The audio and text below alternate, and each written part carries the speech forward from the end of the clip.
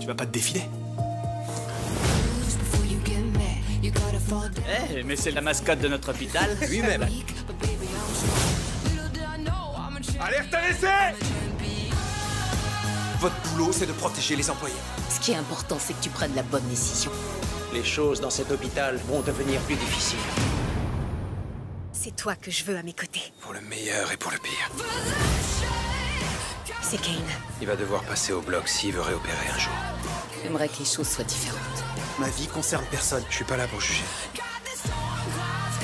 Plus rien sera jamais comme avant.